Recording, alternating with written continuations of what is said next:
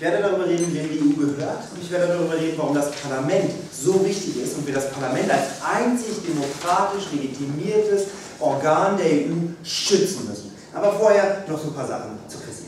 Sagt Chrissy also, wir führen jetzt eine Alternativlosigkeit ein und das lehnt die Politik, denn die Demokratie braucht immer eine Alternative. Ja, aber die Demokratie braucht auch Regeln. Wenn wir hier einen Wettstreit haben, einen Diskurs und ich boxe dich einfach um und dann sage ich, schau, sie sagt nichts, ich bin Erster, dann war das kein fairer Diskurs. Und dann sollte mir nicht die Möglichkeit gegeben werden, dich umzuboxen. Warum ist dieses Beispiel so drastisch klingt sinnvoll? Weil wir was anderes machen als ein Parteienverbot in Deutschland, wo wir sagen, jetzt nehmen wir dich komplett raus und sagen, du sollst gar nicht existieren. Wir wollen nicht den Front National verbieten. Wir wollen den Front National nicht zulassen zur Wahl fürs Europaparlament. Das ist ein großer Unterschied und das hat Jan Wenigsten gesagt. Es gibt hier zwei Ebenen. Es gibt die Frage, will ich in der EU sein? Es gibt die Frage, wie soll die EU sein? Und natürlich dürfen in der EU Parteien sein, die sagen, wir sollten nicht mehr Integration machen. Es wird aber schwierig, wenn wir 28 Länder haben und eins stellt sich hin und sagt, übrigens, ich will nicht mehr dazugehören. Und damit ich das zu Hause durchkriege, fange ich jetzt an, das die EU immer, immer schlechter zu machen. Denn die Leute zu Hause werden austreten, wollen, je schlechter die EU wird. Und ich will austreten und jetzt nutze ich meine Macht quasi, ich boxe meinen Gegner um und sage dann, schau, er sagt nichts, er ist schlecht, lasst uns doch austreten. Wir glauben, das soll nicht passieren. Dann kommen wir zu diesem Punkt, dass Chrissy sagt, jede Meinung ist wertvoll. Wir glauben nicht, jede Meinung ist wertvoll. Wenn ich zu Hause mit meiner WG den Putzplan aufstelle, ist die Meinung von all den Menschen, die nicht in meiner WG wohnen, nicht wertvoll. Die sind nicht betroffen. Die Regelung geht sie nichts an. Die wollen vielleicht in meiner WG wohnen, dann würde ich sie auch nicht drin lassen, aber meistens wollen die gar nicht in meiner WG wohnen und wollen jetzt aber sagen, was ich machen sollte, damit es gut ist. Und genau die Situation haben wir hier. Denn wir verbieten ja nur Parteien den Zutritt, die sagen, sie wollen austreten aus der EU oder den Euro. Offensichtlich wichtige an. sind. Und dann sagt sie, aber wir müssen diese Feinde sehen, die sind nicht Ja, aber wir werden jetzt Front National auch noch sehen, wenn er nur an Frankreich Kampagnen führt, dass Frankreich austreten soll. Wir haben ihn schon vor der Europawahl gesehen. Wir werden all diese Parteien sehen. Die werden da sein. Die werden den Diskurs in diesen Ländern führen und die proeuropäischen Kräfte in diesen Ländern müssen sich gegen die aufbauen. Aber nun, das können sie auch. Und es ist überhaupt kein Problem mit der EU. Kommen wir nun zum, wem gehört die EU? Ich glaube, die EU gehört denen, die dazugehören wollen. Und an die müssen wir vor allem denken. Denn wenn jemand sagt, ich mag nicht, was du tust, aber er will gar nicht Teil sein, hat er einfach weniger Anspruch mitzureden. Das heißt, wir sollten das Parlament, was extrem wichtig geworden ist, durch den, könnt ihr leiser sein durch den Vertrag von Lissabon, gestärkt wurde, weil es jetzt den gesamten Haushalt verabschieden kann, weil es alle Gesetze verabschieden kann. Wir haben sogar die Möglichkeit zugelassen, dass Leute austreten können. Vorher hätte man sagen können, vor diesem Vertrag, man muss im EU-Parlament sein, weil es innerhalb der EU keinen Mechanismus gibt, rauszutreten, außer dass man den innerhalb der EU schaffen will. Das ist vorbei. Wir haben einen Vertrag, da steht drin, Großbritannien darf abstimmen, wir haben dieses Referendum sogar schon angesetzt und die dürfen austreten. Das heißt, man muss nicht mehr in der EU sein, um austreten zu können. Und diese EU hat richtig viele Probleme, die wichtig zu lösen sind. Wir haben große Jugendarbeitslosigkeit im Süden. Wir haben ein Ungleichgewicht innerhalb der Währungsunion, wo wir gucken müssen, wie lösen wir das politisch. Wir haben sehr, sehr viele Probleme, wo die Bevölkerung unzufrieden ist.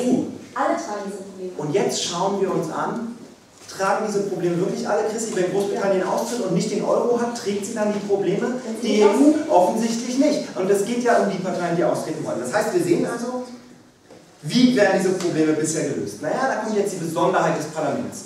Fast alle Mechanismen, die wir bisher gemacht haben, hat der, der, die Zusammensetzung der Chefs der Länder, also die Kanzlerin und die Premierminister wie die immer heißen, die haben bisher das gelöst über neue Extraverträge. Die haben gar nicht die Kommission gefragt, die haben auch nicht das Parlament gefragt, die haben sich einfach selber was ausgedacht.